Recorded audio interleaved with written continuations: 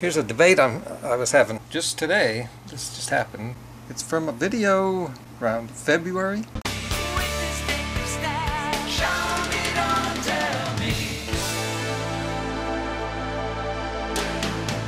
My diet is better than yours TV show. This guy commented, Pete Pharaoh, I've been high fat and intermittent fasting. I didn't want to do it or need to. Didn't want to? Oh.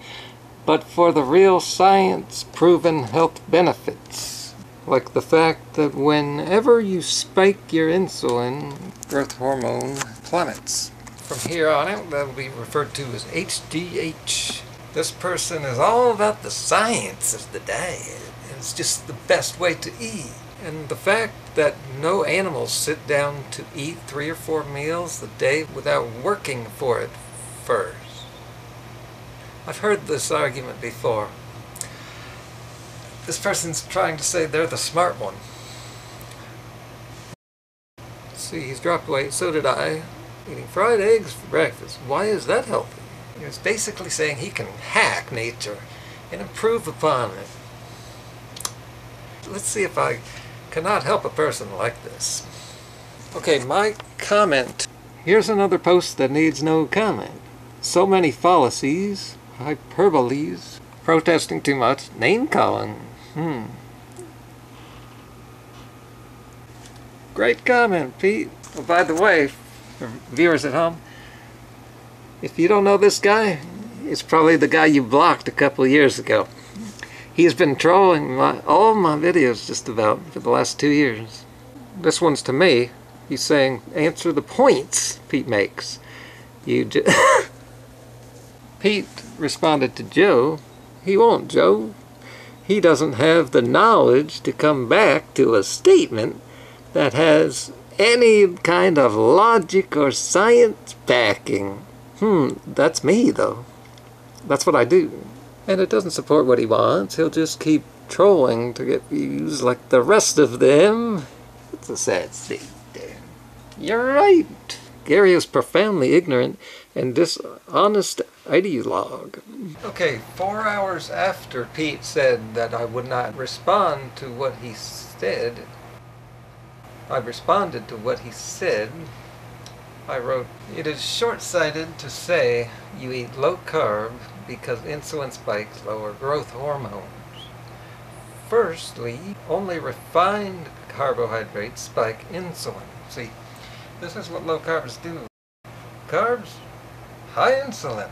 All sorts of bad things happen because of that. But this is all scientific. And it is. He's getting this right from science. These people can put up a good argument. What are we supposed to do here? Well, stay tuned. Who says growth is a health benefit? This guy wants to grow, you know, typical male. Wants to get muscles, but that's not health. Where are all the old people who are really muscular? Where are all the old people who've been doing low carb since they were, what, in their 20s or something? This guy's hiding behind something. And then I give a link to a site, of all places, a bodybuilding site that says carbs are essential for testosterone production.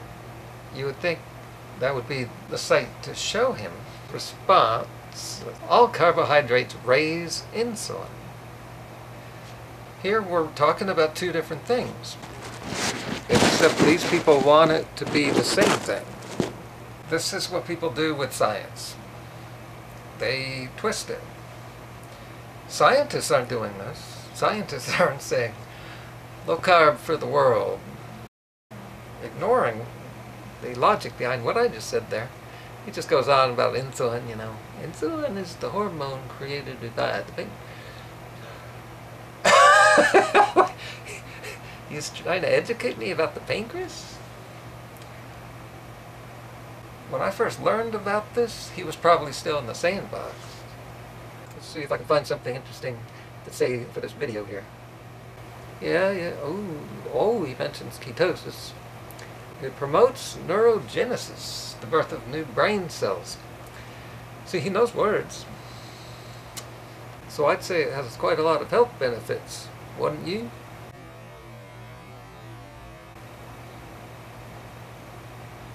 Because if you lower, if, if you drop your insulin way down, then and you get these benefits. What's wrong with that? Hmm, what if that's true? Recently, I did that video on ketosis, Dr. Oz, and most of my commenters were just, they just blew it off. Is crazy stuff. We don't even need to say anyone. Everyone's just saying it's crazy. And that's the, the attitude I had in my video. But if he's getting this straight from science, maybe we should take ketosis seriously. Not as something to do, but to realize that there's a lot of people out there that are reading this science and buying into the idea that ketosis is a good thing. It's not just for crazy people. There's a lot of people buying this. He goes on, and why do they all have to act like assholes? You notice this? Why is that? And they say all vegans act like assholes. Not all of us. Check out Foe Rock latest video, where she's gloating about how she's so nice. Yeah, she can afford to be. so this asshole as for reading articles on bodybuilding websites, I'll stick to reading my science-based nutritional therapy course material.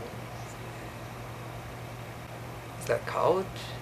That follow on from the Human Genome Project and medical journals. What's the key word in medical journals? Clinical trials. Other such real science. Rather than the bro science, you read well, I don't read that stuff. I purposely got it from a bodybuilding site because those are bodybuilders. Those are people looking to increase muscle, increase their HGH, which is what he was talking about, why he, he's on low carb. It's like his thought process is just not fully connecting. But what he just said there, that's scary stuff. Because his bullshit this dangerous diet comes from real science. My diet is, a lot of people think this is made up to eat this way. How could I go about arguing with all the science and the clinical trials and all that stuff? I have zero formal education. I'm just some guy on YouTube. So I can't possibly do that, can I? Let's see what I do. This was six hours ago I posted this comment. But you don't need to cut carbs for HGH to work. He talked about all the healing that's possible when you when you drop your carbs so that the insulin's low and the HGH is high. Well, wait a second. I have never broken a bone in my life. In fact, my teeth have filled in cavities. My nails grow too fast. I have to keep cutting them. I recover from workouts overnight. And when us high carbers, where I was saying that, it, no one believes that, especially bodybuilders when we try to tell them that, because their experiences, it takes them days. Well, I wonder why. It's because they're eating all that fat and protein, like the bodybuilding magazines tell them to do. And scientists used to say that eyes cannot heal. And I proved that wrong a few years ago. I had one blurry eye for over 10 years. Soon after going raw vegan, that went away. Eating refined pasta my whole life. I'm not aging. I don't, I don't age. I don't age. I'm 48. And then my last sentence to him was words of wisdom. And I'm trying to be nice here too. Hopefully this will get through to him. You need to think when you're reading the anti-carb science that he does. You can't just absorb it blindly. My troll Joe responded, I thought he would. You are utterly ridiculous, saying you're not aging. Laughing my ass off, you look considerably older than your chronological age. but anyway, on to Pete's response.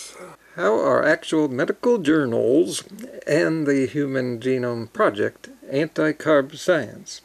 I actually laughed out loud a bit. And then he goes right back into insulin and HGH, yada yada yada. It sounds like you could do with a little fat in your diet. I do eat a little fat in my diet. To help with some neurogenesis. How old are you? And what physical exercise do you actually do? This is what real scientists sound like. He apparently doesn't know that I'm a science buff, science nerd from the 80s. I mentioned that in my last video. watch it, and then watch your video, if you dare. I watch myself hours a day while editing. Then hang your head in shame, for nothing else, just at how you sound. When you read that, it sounds like he really nailed me. And a lot of people would read that and then and then think, that guy really nailed him. And then they'd move on. But if you wanted to look further to see, well, did he really nail me? Then you might be able to make a case. Here it is. Should I hang my head in shame for just how I sound? Well, I sound like a real person, not a scientist. Remember, only some scientists would be so foolish or corrupt to have tunnel vision. Take a little bit of information and just see that and blow it out of proportion. I sound like someone who's not trying to sound smart. Go away! I have nothing to prove. I am super smart. I'm so smart that I think that I can go past the science and, and use logic to show how science is sometimes used for devious purposes. Or sometimes the scientists just lose themselves. They get so deep into the science that they can't see the world anymore. Clinical trials and all this stuff. That's not real life. A lot of those trials are not set up properly, and I've shown this. You know, when people like me, Harley, and Vegan Gains have been able to debunk the way studies are done, that's pretty bad. And we have done that. Anyway, my reply was a little shorter than that. I said, why are you asking my age and physical activity? He doesn't want to guess my age. Because everyone who's ever guessed my age has guessed at least 10 years younger. I'm not really against science. I'm simply against the way some people use it. Some some people. I go I go into detail here to a video. Also in my book I, I go into this for a few pages talking about the science. There's, there's the science, then there's the scientists, then there's the media, and then there's reality. And over the course of my book, I basically debunk society and the way they think, the way society thinks. You know, society is not natural. The world is natural. That's all there is is nature. When you create a society, you're removing yourself from nature, so it's no surprise that society would just have everything backwards. Okay, Pete has replied to me just just a few minutes ago. He said, I asked your age because the current topic seems to be about the benefits or lack of them with using a lifestyle of food choices that boost HGH or not, and how your lifestyles, based on whole science, affect your health of which physical appearance, mindset, how about rudeness, blood markers, physical abilities, how about running a hundred mile marathon? You know, vegans have proven themselves. He just doesn't want to look at it. Well, then he talks about how much he can lift and all this stuff. that really has nothing to do with anything. As for him running some race not on low carb, you didn't. I remember when that was proven by our community, hardly like three years ago or something. I have a great memory, you may have noticed. So he's got a picture of himself at the finish line. I could do that too. See, I have no reason to, to fake things. When we've got documented proof of Michael Arnstein actually running the race and being documented on the website, oh, he's really going all out here. What about you? And my drive and ability. I think my 300 videos show my ability. And my drive, how about my drive to Los Angeles on like one and a half hours sleep, and then standing all day, and then driving back home, getting home around midnight. So he's comparing the two of us, and he has listed all these benefits. And uh, it reminds me of something here. Let's scroll back up to his original post two months ago. The stuff I didn't read all of. I've been high fat and intermittent fasting on work days for six weeks straight. Oh yeah? Tell me about your story again in six months. And tell me again in 22 years. I've been saying this the whole three years I've been making videos. All these low carbers have only been doing the diet for a short time. And the reason is because you can't do this diet long term. There are people who get short term benefits of crack, but check with them again in a couple of years. Pete, post your comment below.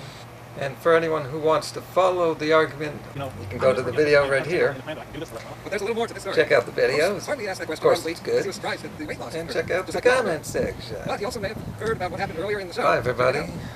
Let's just dig in and we'll talk about intermittent fasting.